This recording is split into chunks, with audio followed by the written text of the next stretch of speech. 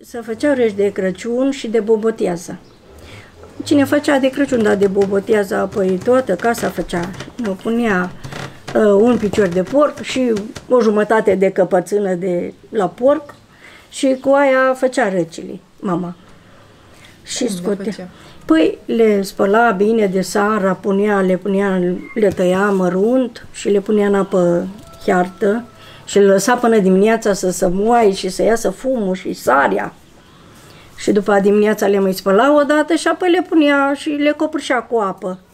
Și le ferbia bine până să ferbiau, dacă mai trebuia le mai punea sare, dacă era sărată destul nu le mai punea.